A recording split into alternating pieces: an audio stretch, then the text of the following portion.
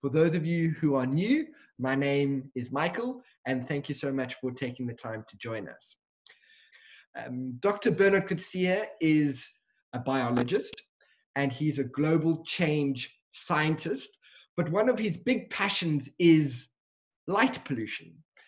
Uh, he comes to us this evening from the small base camp or the small town of Skukuza in the Kruger National Park in the northern part of South Africa.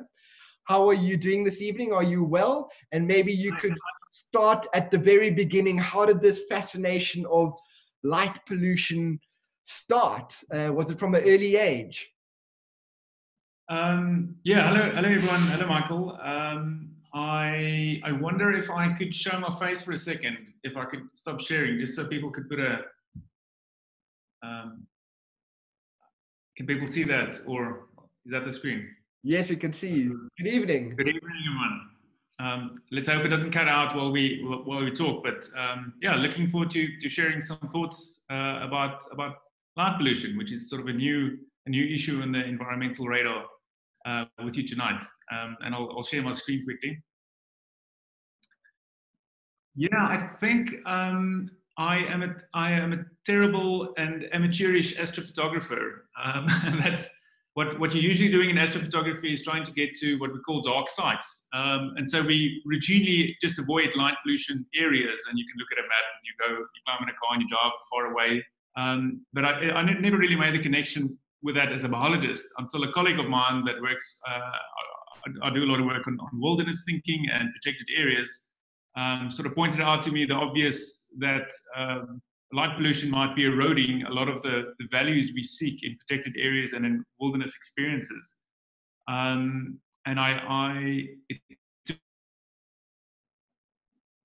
but then I, I, started thinking about the biology of it, um, and it sort of led me down a path about about light pollution itself and trying to understand it.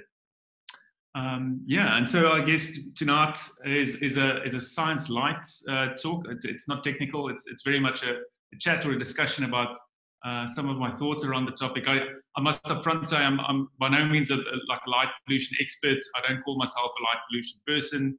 Um, I, I, guess it's it's it's more correct to say I'm a global change scientist, um, and I usually study things like habitat transformation and climate change. Uh, but I've increasingly gotten interested in light pollution as a, as a, global change driver, and hopefully I can convince you tonight that, that it potentially is um, a, a, problem at scale. Yeah. Okay. Um,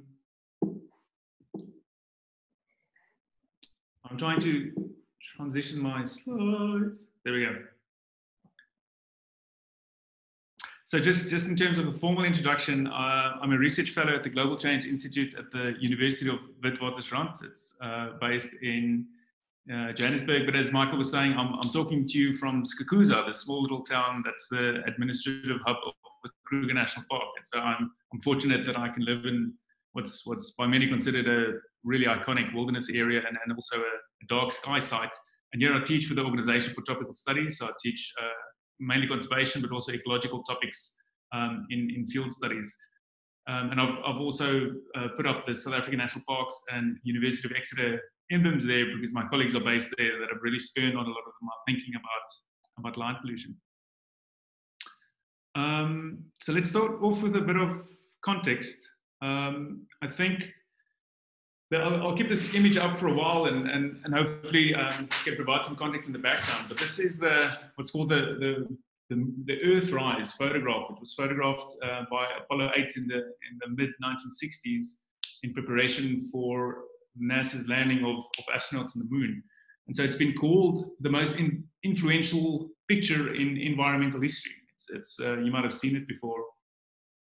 Um, because it's so striking, right? It's the, it's the blue marble suspended in space and really puts us sort of, uh, I guess, in our place in the universe. That's that's one of the reasons I got into astrophotography in the first place. But what I want to draw your attention to, you know, I think is, is the negative space, right? And so in a creative sense, I think people are always drawn to the to the picture itself. But the universe is an exceedingly dark place. It's actually very dark and it's not filled with a lot of stuff. Um, and we're in a very unique position that we just happen to be close to a star that's emitting a lot of light. And so, at least for a portion of the day, uh, there's light on the planet. Now, most of the life on the planet has evolved in, in these day-night cycles. Um, from the beginning of the, of the evolution of all the life on, on Earth, including ourselves, um, we've been subjected to these day-night cycles. And darkness is, in fact, the, the natural state. It's very common, you know, it happens every day. Uh, but we tend to forget, I'm sitting in the dark mainly now in my office, we tend to forget that, you know, somewhere most on the opposite of the planet while we go about our business in the daytime, it's in complete darkness. Uh, and what I hope to show you is, is, is, that's actually when a lot of the action happens. If you if you've been up to the, the Kruger National Park, for instance, you know, it, night drive is the highlight because that's when the predators and things are active. And this this is a fundamental shift in how we think about ecology. Um, it's it's emerging as a, a, separate field. It's called nighttime ecology, and it's not just about studying animals and what they do at night, but really fundamentally asks if we're a, a diurnal species, one that's day active, how much are we missing that's happening um, at night and uh, and the ecology of the nighttime. Okay, and so that's that's quite an important point because at the surface of the planet, if we zoom into that, it, it looks something like this. So this is from the International Space Station. You can just see the, the part of the um, the construction there. This is Portugal, and there's Madrid, and you can see Barcelona in the distance. Um, because over time, we've systematically introduced artificial lights at night uh, into the natural environment. And so in the popular media, it's called light pollution. Just for ease of reference, I'll call it light pollution uh, tonight, but it's, it's really um, artificial light at night. Uh, and not all of it's bad. Of course, this is extended leisure hours, it's extended work hours, uh, but I think there are trade offs in our development and what the introduction of light into this very dark universe uh, is really doing to us and is really doing to, to species and the species that I study. Um, if you if you zoom in furthermore, this is a Times Square at night. It's perpetually lit. Uh, it is the most. It's it's an, an, extremely lit place, and it's in the city that never sleeps, right? And so these lights are constantly on. Um, and so that, that's maybe an extremist example, but I'll show you that that this is actually quite commonplace in different places. Um, okay, and so this this is a map produced by a team led by Fabio Falchi. Uh, um, I think he's Italian, I think, at a Roman institution um, in scientific reports. And so they, it's called the, the, the, Atlas of Nighttime Lights, right? It's, it's worth a Google. And, and most of this information is now available um, on sort of online sources if, you, if you're interested in maps and things. Um, and so there are some some really striking patterns. If if I, I, I spend a lot of my time staring at maps because um, I come from a geography background, um, and study species distributions. And so the, the first thing that might strike you is that there's congruence between human population density and light pollution, right? And so that's that's got an obvious point. It's it's the, the line is where the humans are living, and so you can see China and India, for instance, extremely lit. Uh, Europe and, and, North America. Um, uh, let's not worry too much about the gradient scale, but it goes from black, which is obviously dark, to sort of red, which is intense, to white, which is which is very intense. Um, uh, and then I'll zoom into Africa for a second. Uh, most of, of uh, Australia, of course, is completely dark, and Antarctica uh, completely dark because there are no people there. And so, like I said, I, I study wilderness and, and, what that means and the erosion of wilderness globally. And one of the indicators we use to do that is um, is, is, light, right? It's the global uh, footprint of humans can be measured in a variety of ways, but one of that is, is the distribution of light because it's increasing globally. Um, I think, I don't have the stats in front of me, but it's, it's about two thirds of the world's population now lives under light polluted skies. And so when they look up at the night sky, they can't see things like the Milky Way. So the Milky Way is, is you know, sort of uh, fundamental to my upbringing. It had a lot of uh, influence in my life, but uh, many people um, have never seen it. And, and sort of as a segue, um, I don't know how true this is. This it's like it's like one of those urban myths or urban legends. But in the early 90s, there was a there was a, a major power cut in Los Angeles, in downtown LA, and um, the 911, the emergency services there, were inundated with calls from people because they were reporting this weird disk in the sky, right?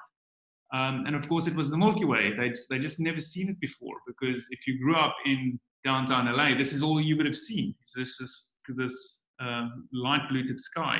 because all the celestial objects are, are completely blotted out. So I find that extraordinary. I find it extraordinary that people have sort of lost this connection um, to the night sky. Uh, m- none of my talk is, is about that, but I sort of what got me into all of it. Um, and so that's it's striking. I, am talking tonight about a biological perspective, um, but the astronomers are petrified about light pollution because it's physically eroding their ability to study optically the night sky. It's, it's their whole field is in, in jeopardy.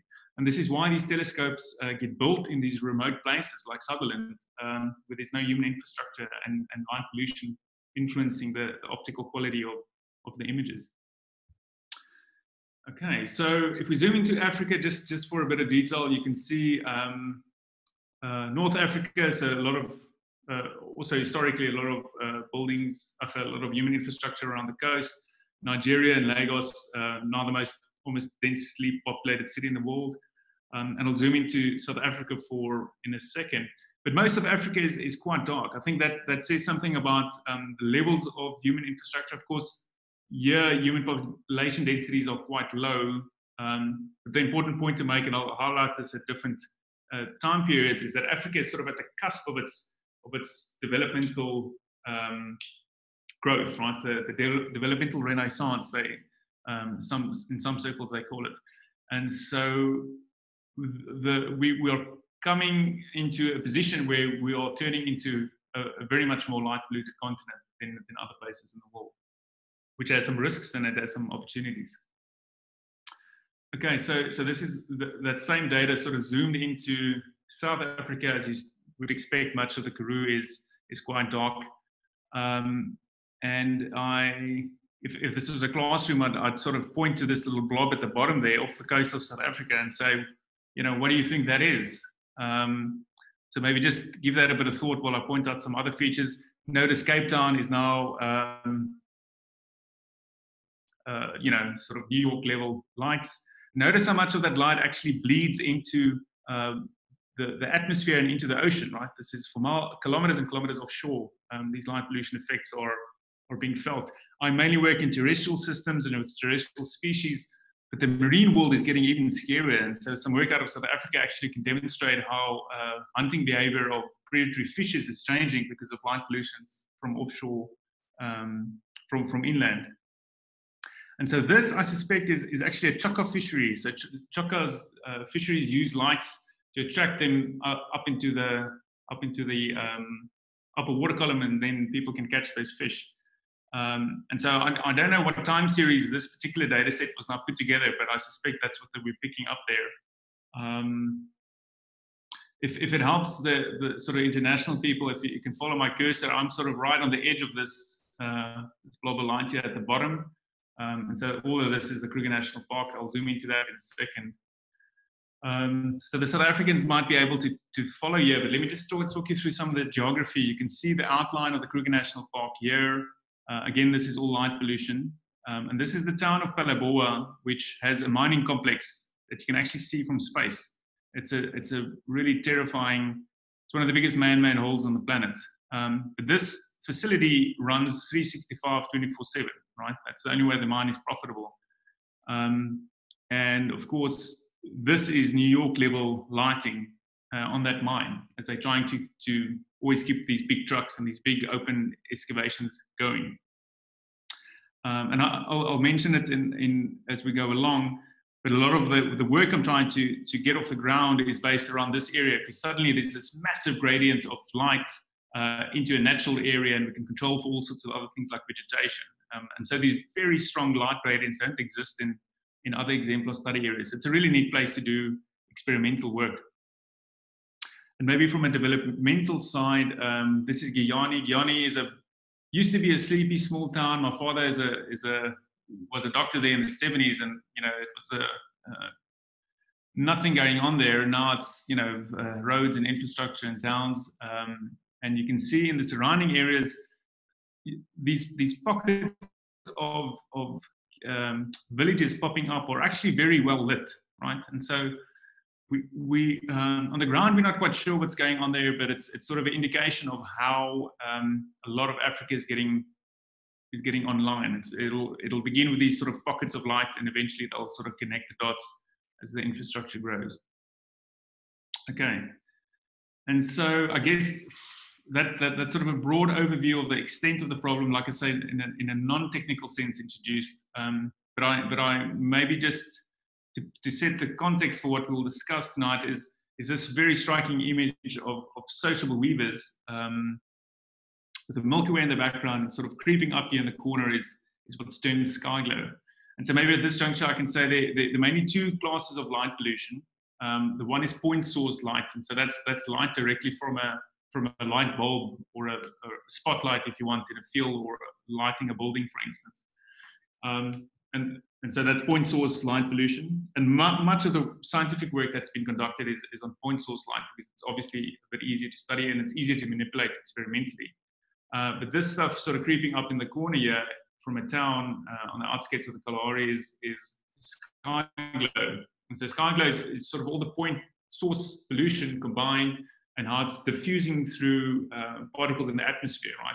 Um, and so it spreads out from these point source solutions. And so that picture I showed you of Cape Town uh, really is that sort of sort of light that's that's burning off through the atmosphere. Um, and from a biological sense, people have tended to ignore this because it sort of seems diffuse and not as important. Um, and how, how could this light possibly affect organisms close by?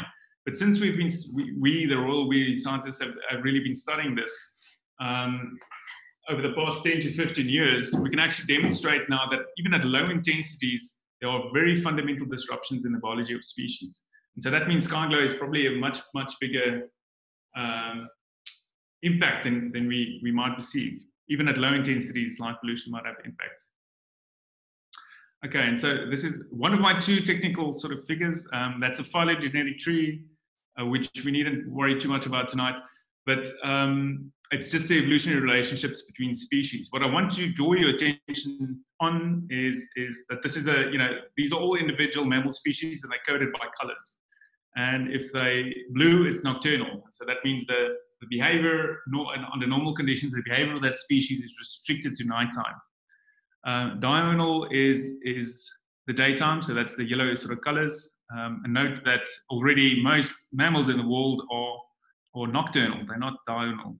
Um, then there's crepuscular, that means they have bouts of activity during sundown and sunset. So at the switching of light uh, between daytime to nighttime or nighttime to daytime, uh, there's this, these episodic events of activity. Ectothermal um, is sort of um, a weird category where species have bouts of activity, not restricted to either nocturnal or diurnal. And so, like I say, the key bit, of course, the, the bats, Chiroptera, um, of course, they're all nocturnal. And so they take a big chunk of space at the bottom of the graph here. Uh, but most species are nocturnal. That's when the action happens. It's not actually in the daytime. And we happen to study things in the daytime because we're primates, right? We're one of the few groups that are actually busy in the daytime. Uh, most things are asleep. And that's, that, sounds, that sounds like a, um, um, a trivial uh, observation, but the, the, consequences of this might be profound because the most of the work we do is not when the ecology is actually happening. Um, and so that's a broad point. There's, there's some fantastic work by a colleague, um, oh, his name will come up a couple of times, but Kevin Gaston. And so they've, for those who are more from an academic background, they just published some work in American Naturalist, which is an interesting journal about nighttime ecology and what this, these sort of observations mean for our study of ecology. So if you, if you think that was a controversial statement, go check out the manuscript and it'll give you a bit more context. Um, and so this is another striking image uh, at, and this is completely at night. It looks like it, and this is not a manipulated image at all. Um, this is just a, a, very good photographer.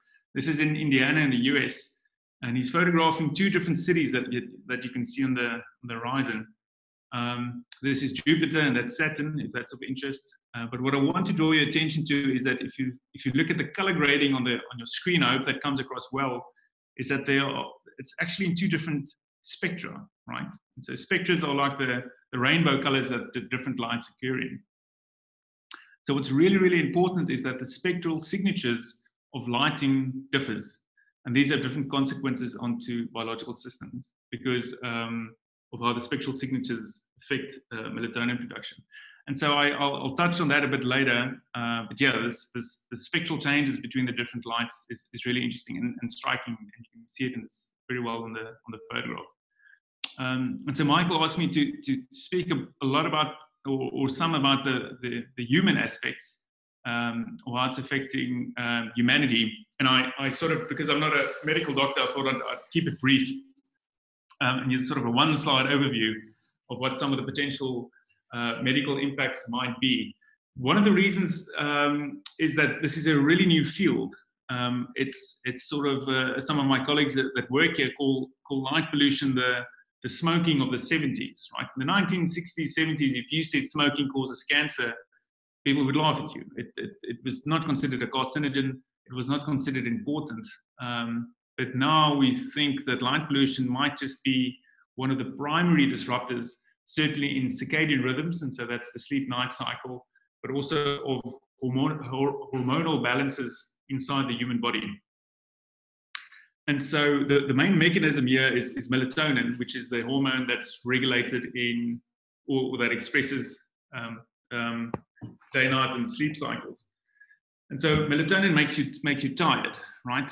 But it's stimulated by light, um, which enters through our, our, visual systems and it's produced in the, in the pineal gland um, inside the brain.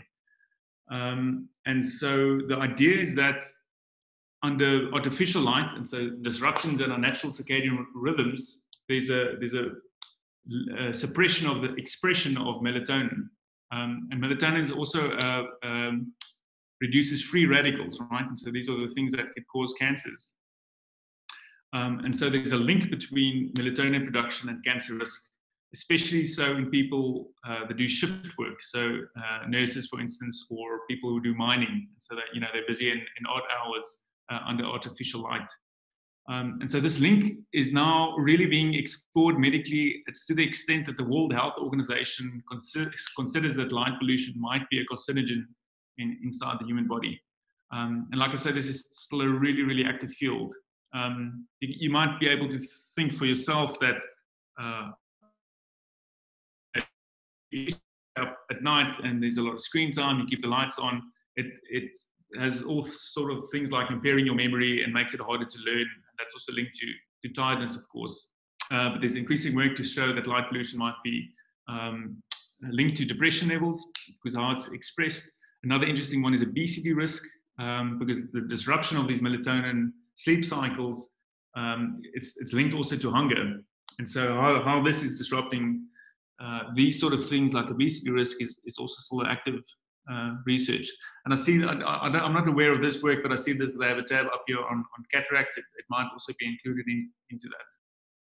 And so I guess the, the, the takeaway here is to say that uh, light pollution may, might have quite severe um, consequences to our health, but it's, it's something that's really getting explored a lot more in the medical field.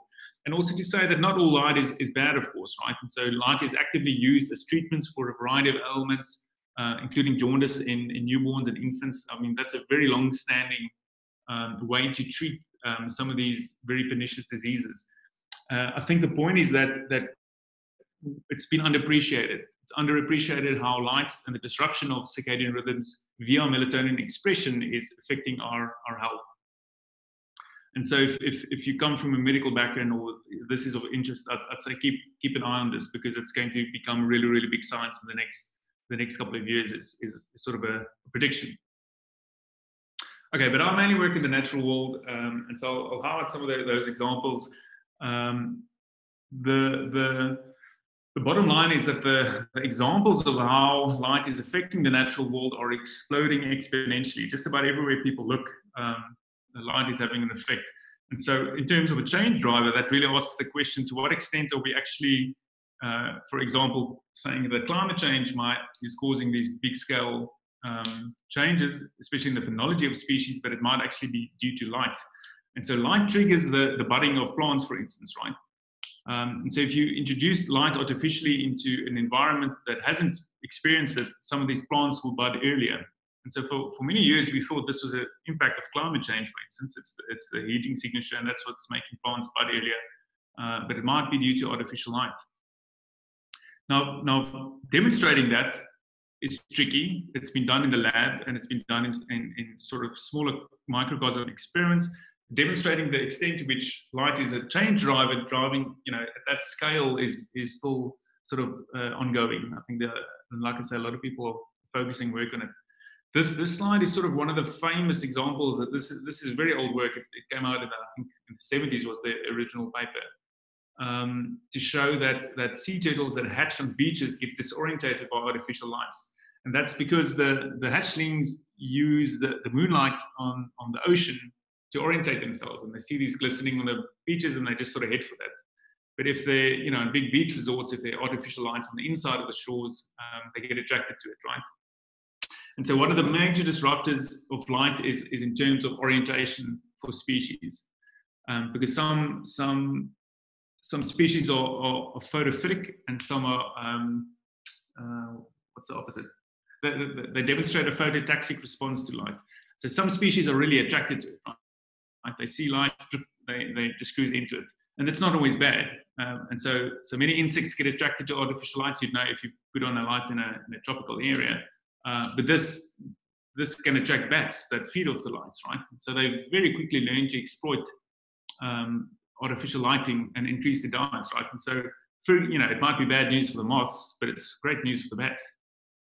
And then conversely, there are bat species that perceive lights um, as, a, as an obstacle, right? And so uh, this was some, I don't have a nice slide of that, but there's some work to demonstrate with transmitters put onto bats uh, in artificial lit environments, they avoid it. They fly through the dark spaces and they fly around the lights and they head back to the dark spaces, right? So not all bat species do this, but some of them really get affected by it, right? They see the lights go on and they they they try and avoid it. And so figuring out which is which is is is quite uh, like I say an active active part of work and research. And so so this is um, some work by uh, Marcus Byrne and a, and a large large group of people um, at Wits University. That's the University of the Witwatersrand in, in Johannesburg. And this work is on, on dung beetles, which are this iconic group in Africa that form a little ball, uh, and the beetle pushes this along um, along a path. And you, you, might have seen images or, or heard, of, heard of that before, seen it in the field. Um, and now, some early work by Clarke Scholtz um, at the University of Pretoria showed that, that these dung beetles orientate and, and navigate by all, using all sorts of light, right, including celestial light. So the way that the Milky Way orientates at night, they can orientate themselves, and they use that for navigation. So it's a, it's a critical, a visual aid actually to help them navigate. And of course, if you introduce light pollution through sky glow, it has the potential to disorientate, them, right? And so what they do here is under different light regimes, test the navigation ability of these dung beetles um, to, to see the influence of light and they're showing uh, all, all, sorts of interesting things, including that the dung beetles can adapt quite quicker than we think. Uh, they get disorientated, but they sort of figure out, hang on, you know, something isn't quite right here, and they just sort of adapt their vision systems and they, they cruise off. And so, um, yeah, this this this sort of stuff is really fascinating. I think if anything goes demonstrates to what extent species really cue into different um, forms of light. Okay, I hope this image has popped up yet. This is a for the bird is out this is a, a fiery neck nightjar. This is a like a conic species that occurs across uh, most of Africa uh, in the warmer areas. And nightjars are a group. If, you, you're not a birder, let me take you some, through some of these characters. A nightjar as a group have these extraordinarily huge eyes, right? I mean, uh, the size of the species, you can see just how much investment has gone into the evolution of this this eye. It's it's by far a, a, a real visual predator and it has these little pronounced bristles around the edge of the the the beak. And so what these guys do is they they they're called hawking predators, and they, they open up this mouth. It looks like a big funnel if they open it up. It's got this really weird big mouth, and they fly about and they they try and catch insects uh, into these bristles, either by visually seeing them or the insect hits the bristle and they and they grab it. And so this species is out and out a visual predator, right? And so what I would be interested to do now that the, the technology is, is sort of caught up with, with some of our, our ideas, I guess, is to try and test to what extent light pollution is impacting this species as a, as a visual predator. And so, uh, in that Phalaborwa example I gave, that strong light pollution gradient, I suspect that um, so this species does better on, on moonlit nights, right? Because if they can see better and it's a full moon, they just they just have better hunting success and they're more active. Um, and so some work in the US has de- demonstrated this for many years. No, that's not a light pollution connection. But um, you know, m- maybe under more or under artificial lights, either point source or sky glow, the species is more active. And so what you'd want to do is, is catch a whole string of them under different regimes and try and test uh, to what extent they it changes their their feeding behavior. And so that might not be a negative effect, right? If they are feeding um, more positively or more strongly, um, then uh, yeah, to the benefit benefit of the species. And I guess the point there is to try and figure out what are the costs and benefits um, of different lighting regimes for different species, right? And so this image, this is work done on insects in the UK. It, it was called the Ecolight project. It's just sort of wrapped up to a conclusion. Um, and this, this photograph is taken by a collaborator of theirs who's an artist. And so what each one of these little boxes are on your screen is a, mice, uh, um, a microcosm, right? It's, a, it's like a small experimental chamber where you can, you can add different plants and you add different herbivores that eat those plants and you add different predators that eat those herbivores. And so it, on a very small scale, can replicate um, ecological community. Um, and then you you add different lights and different light regimes to this network and see how that affects the community and, and what happens. And so to the right here, you can see this is a, a LED light. It's sort of that white, uh, what, what I would call is, is a harsher light um, and, and a lot brighter at a high intensity. And the, this orange uh, softer light is, is I, I, guess this was the incandescent um, experiments. And then there's some of the sites are, are, dark, right? So that's just normal moonlight. Um, and so each one of these is, is an experimental uh, plot or design that's distributed throughout this landscape. So this experiment, I think, ran for two years, um, where they tested how the different light regimes are affecting these different communities. so the striking thing here is, and, and drawing it back to the sky glow, this is all point source pollution, right? It's from a single light source. But even at very low intensities, um, it can change the predator-prey relationships and impacts, right? And so when I say low intensities, it's sort of uh, think um, half moon, so uh, really, really dark actually. Just much less than you you when you put on your light in, in your living room, for instance. And so that demonstrates that that um, yeah that that light is is really having a, a, a, tremendous effect. I think if you if you want to read more about the work, this was um, Sanders et al. I think 2019 in Current Biology. If you know the scientific literature, Current Biology is a really big, big journal. Um, yeah, and so I, I guess these are, are, quite quick examples, but but sort of uh, demonstrating different kinds of uh, responses that that species are undergoing. So, Michael, at the beginning, you asked um, you asked me why why this why, why light pollution and this was my this is my only other technical graph um, and it is a, a, if i can run you through it it's a it's a we have illumination and there's different ways to measure this uh, but just in lux just read it as intensity and you can think like a clear sky is, is very bright right that's now full sunlight to when it's overcast um, uh, when the moon is down you know then, then it's really really dark you know, so if it's if the moon's down and it's overcast, that's just as, about as dark as the planet can get. Okay, and so full moon is sort of over there. And here you, you, can refer to this manuscript if you if you want some of the details. But each one of these little arrows is the intensity at which um, a biological response has been demonstrated in the literature, right? And so and so these range firstly across a range of taxa, so from mic microbes, plants, um, invertebrates, uh, mammals, birds. Uh, there's a bit of work on reptiles as well, um, how they change with light, and also the kind of responses. And so there have been behavioral responses. That's mainly what I've talked about now. So changes in orientation, but also physiological responses inside the organisms, right? Changes how they how they respond. Um, their fecundity, so their breeding success, for instance, changes under different light regimes. Uh, there have been some some work to show that, uh, like I said, in the mesocosm experiment, there have also been some um, experiments in the field to demonstrate that entire communities of insects can shift uh, based on different lights and different intensities of lights. And when I saw this, that was really when, when uh, I, I, hate to make it the pun, but when the lights went on, you know, that's that's really when the um, the, the, enormity of this issue sort of hit me. And, and note that this paper is, is, is not quite dated, uh, if you will. Um, and I think ecologists are sort of waking up to the issue. And like I say, when when people start scratching around in this stuff, like I have now, it's just phenomenal. It's just uh, the literature is full of different examples of how light is is affecting um, affecting biological systems. Okay, and so hopefully for for the for the for the non-biologists, that was a, just a quick overview of um, some of the some of the major issues that we face in, in light pollution, um, or that we're thinking about in light pollution. Um, but also, like Michael said, you know, this this isn't all doom and gloom. I don't want to.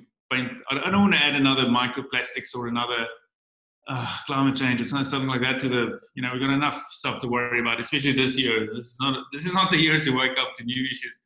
And so, what I want to offer you is, is a perspective to say um, that that there are really opportunities for win-win solutions, especially so across Africa, um, because we have the opportunity to to not repeat the mistakes that have been made in lighting uh, in Europe and in Asia and in the Americas. And so we can go onto the correct spectral or the correct kinds of lights from the get-go, especially if we roll out um, lighting infrastructure across the continent, which is coming, right? I mean, this, this development is, is on the way. And so that's sort of an easy way to address some of these concerns. This is, a, this is taken from a manuscript that, that again was published by my colleague um, Kevin Gaston. This is in Science in 2018, I think, and it's really worth a, worth a read, but it's, I'm squarely just stealing all those uh, my ideas from, from there. Okay, and so the, the first one, very, very obvious, is to, is to not introduce light uh, to, to places that it doesn't occur, right? And so, so that's, that's of course easier said than done. I, I, I showed this example of wilderness, but there, there really is a, a incentive to think about how we introduce lights into different places. And so an example here, for instance, now is that when new lodges go up, um, they're very concerned about, about the view sheds, right? And view sheds is, is what the guests, for instance, can see visually when they're sitting around the camps at night. Because suddenly, if there's a light on the horizon, you know that's another person, and so it takes away some of that, um, like I guess, allure or or sense of it. In, if you're a dollar-paying tourist, but in a very practical sense, it does, uh, I think, steal some of the, the, the wilderness feeling, if that makes sense, or the, the natural feeling if you're out in out in the out in nature. And so this, this, this is being championed by a variety of different organizations and people, but foremost of which, which I'm not associated with, but is this International Dark Sky Association. They're a fairly large NGO based in the US, and their sole mandate is to protect large dark spaces. So Africa at the moment does uh, only has two. I think one is in the uh, portion of the Kalahari, and one is in Namibia. And, and these are, are spaces that that can demonstrate that they not only are they dark spaces away from a lot of light pollution, but all the activities that are happening inside uh, those reserves um, are applying the kind of things that I'll talk about in the next few slides. So really trying to mitigate the light um, uh, patterns and contact, right? So a place like Skukuza, for instance, where I live, um, does not do, do this at all. Um, and so we can't qualify for, at least portions of the Kruger National Park won't qualify as a dark sky site until these things are rolled in um, through management.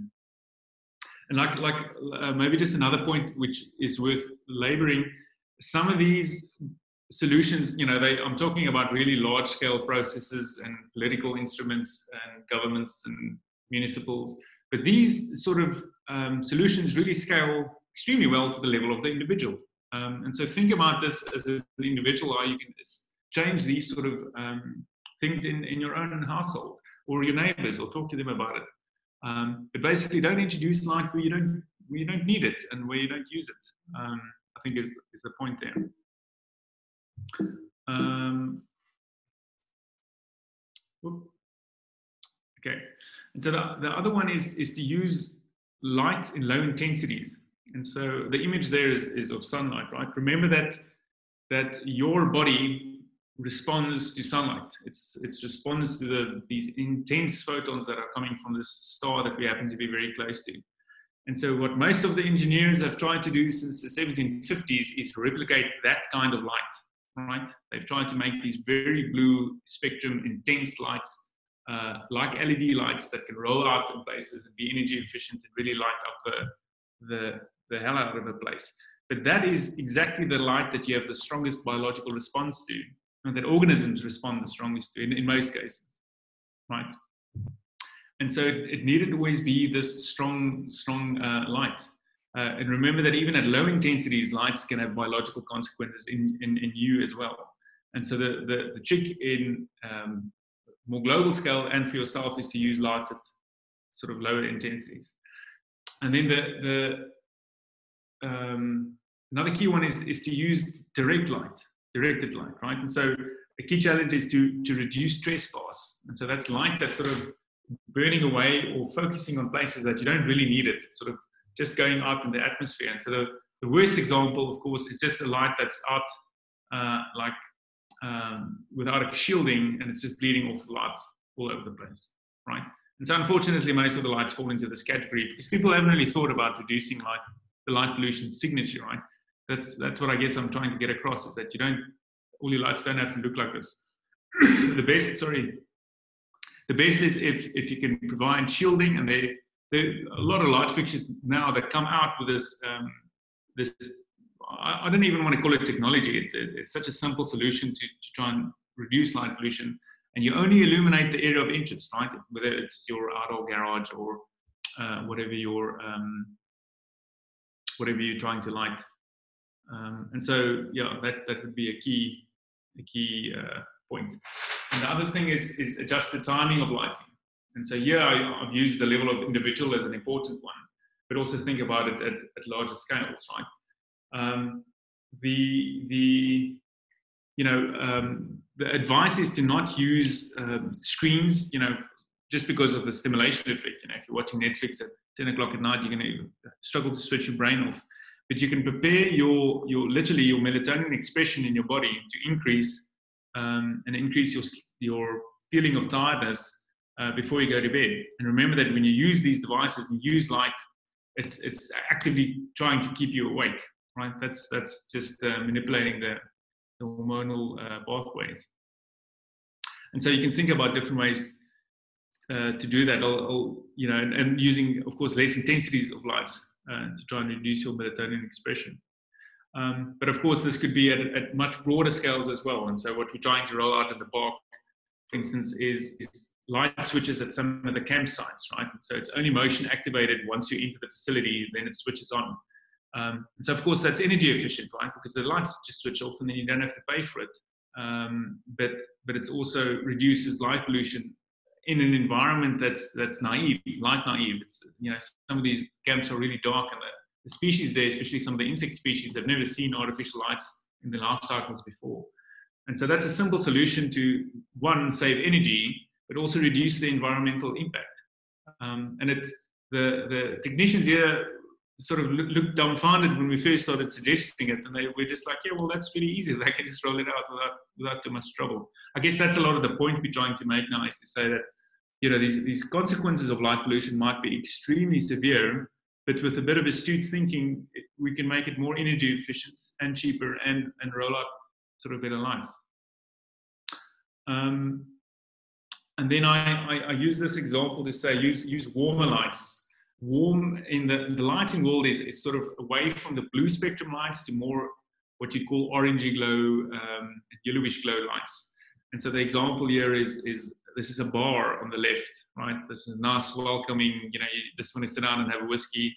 This is a hospital room that's all sort of LED and phosphorescent lights and, you know, that just looks harsh and, and terrible. And so ask yourself, where would you feel more comfortable, um, in the bar or in the, in the hospital room? And so the, the point really there is to try and um, yeah, better exploit uh, uh, natural lighting regimes. Um, I've, I've, started to do this a lot in my household, and it's it's just a lot more pleasant, right? It makes the rooms more warm and, welcoming than, than constantly using uh, very harsh lights. Uh, maybe just a point that you know might have sounded that I've criticized LEDs, um, but that you, you, get new modern LEDs now that have uh, sort of an orangey filter, an amber filter, and so they look like the lights to the left, right? A, these are actually LEDs to the left, um, but they're not in that blue harsh spectrum. And, and so this technology is, is just as affordable and it's just as energy efficient, uh, but it's not in the, in the more light polluted categories or more harsh lights. And so uh, again, you know, sort of be on the lookout for that, for that kind of thing. Um, Yeah. Okay. And so so that was a like a a, a soft touch treatment of, of some of the, the biology, if I, if I can, and then also some of the um, um, practical solutions. But I hope that gives you a quick overview of why we think light pollution is, is emerging as a, as a global change driver. Um, yeah, and, and, and, thanks to the people involved. Thanks, Mark. that, that was really great. If, if any of you have questions, please won't you use the chat function or the Q, Q&A function. Um, that that was really fascinating, and uh, I can relate to a lot of what you were talking about. Um, just at your home, I mean, do do people come around and sort of trip over things? You said you've got a, a few lights, but outside, just honestly, um, how, how does it look at your home? And maybe you can stop the share screen so we can talk to each other. Oh yeah, yeah sure. No worries. I yeah, it's it's it's been a bit of a war with my mates because um, most of the lights on are always off at our house, um, and I have this weird way um, pathway, and people have, have, had like a toe broken and people trip and stuff. There might have been wine involved. That's what I'll blame. It's not the lighting. Um, but um, yeah, I guess um, the, the biggest story there is is why those lights are needed in the first place. And so in our case, you know, people say, oh, it's the water for animals. You know, you have to keep safe uh, and you have to put the lights on so the elephants stay away. I don't think that that, that really works. Um, the other one, of course, which we haven't touched on, is, is crime and crime prevention. People, you know, feel the need um, to keep lights on, and I understand that you know there's there's some good work on the, the psychology behind that. Of course, you feel more safe in a, in a lit environment as, as a species, you know, where we can perceive what's what's happening. But but I could, you know, scientifically, this is a very difficult problem to study is to try and understand, um, you know, if you switch off lights in a neighborhood, do the crime rates increase? You can't ethically do an experiment like that because that, that would just be absurd.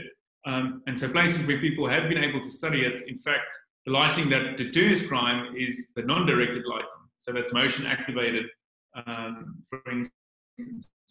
As soon as the light comes on, suddenly it attention says, hey, something's up, rather than constantly illuminating a place um, and then you know things are normal.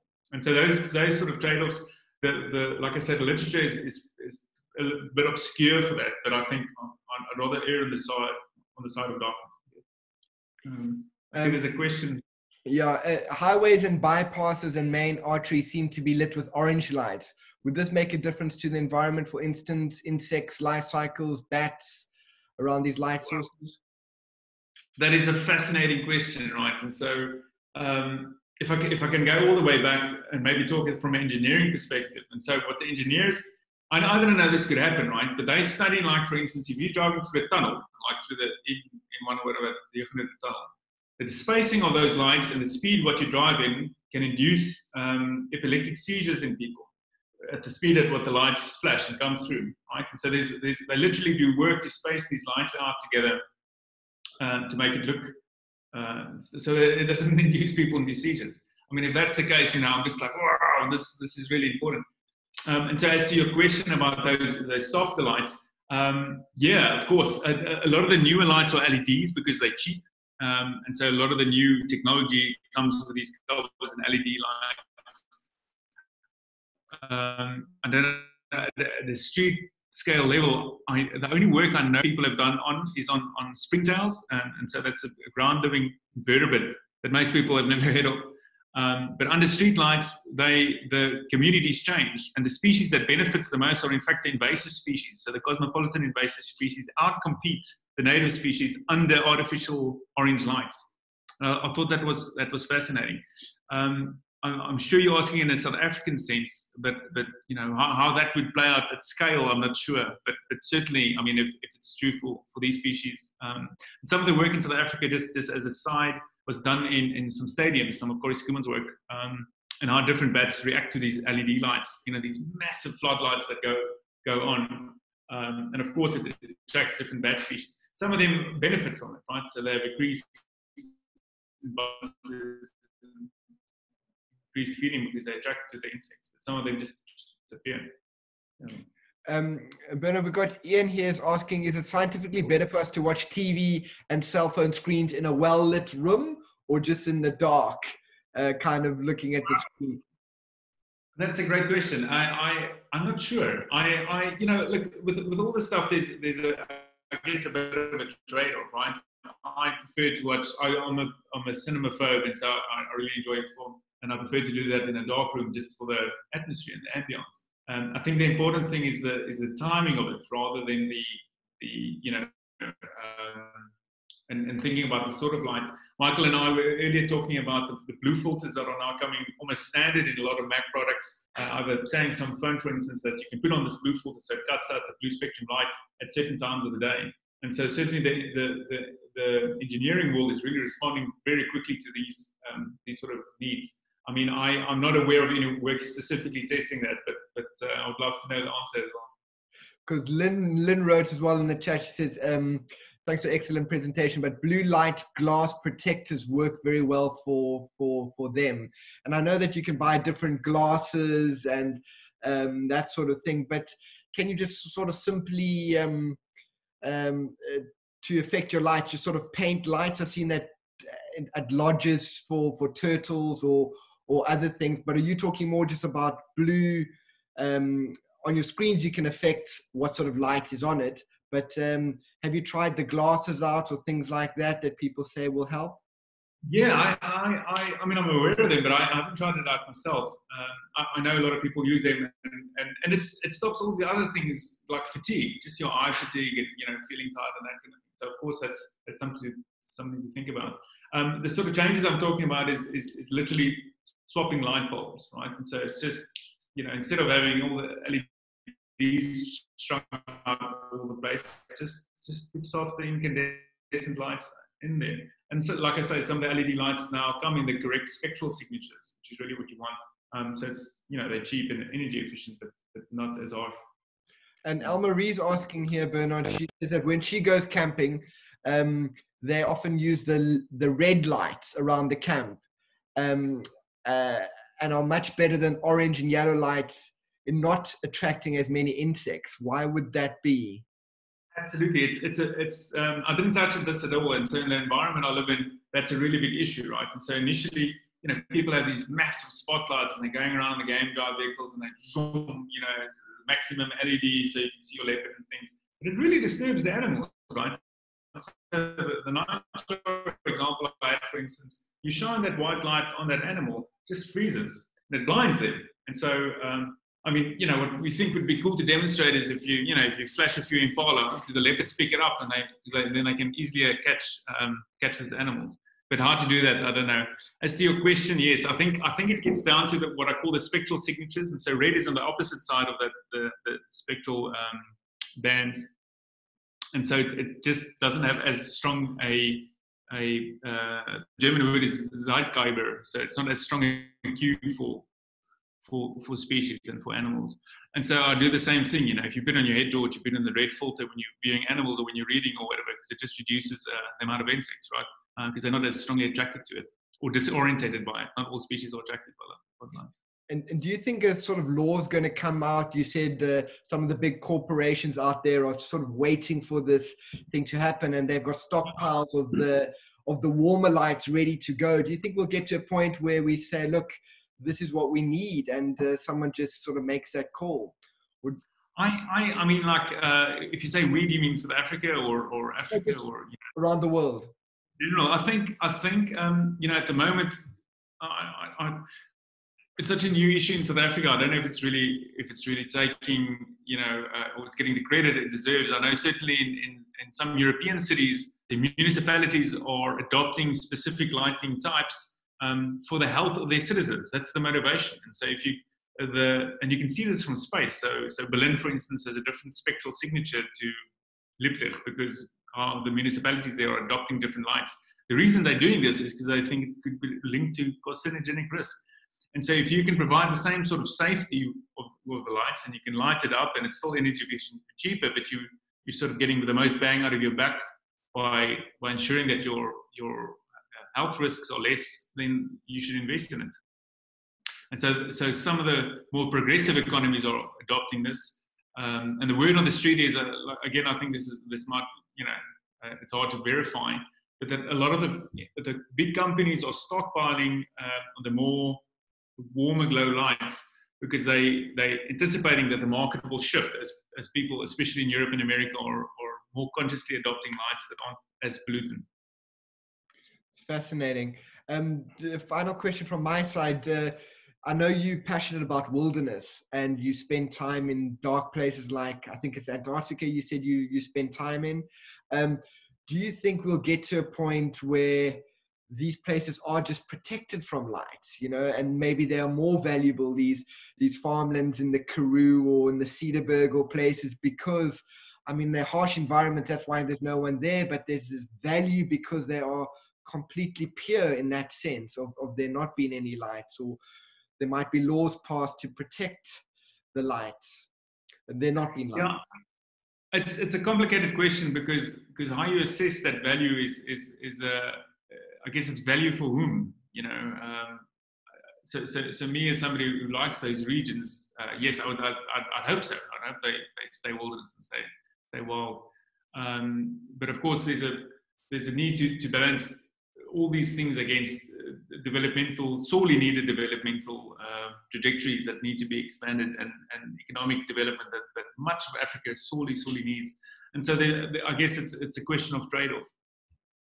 Um, I think what, what, what is scary is that uh, colleagues of mine have demonstrated just to what extent the natural lights in protected areas are eroding because of lights outside.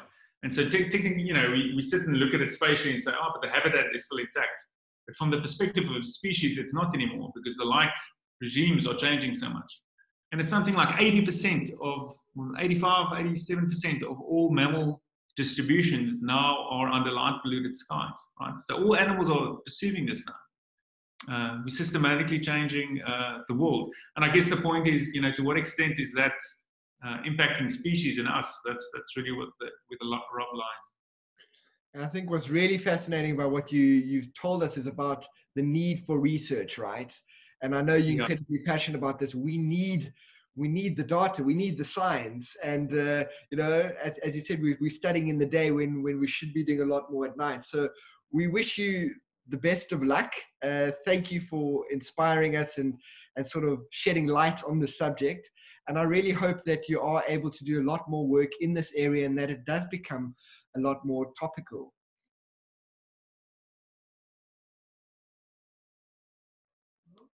Bernard, I think we've lost you. But that might be uh, a good way to end the conversation. So thank you everyone for joining us. I'm not sure quite what happened there. I think Bernard entered his own uh, Earth hour. And uh, join us in two weeks' time for a conversation about coelacanth. Thanks so much.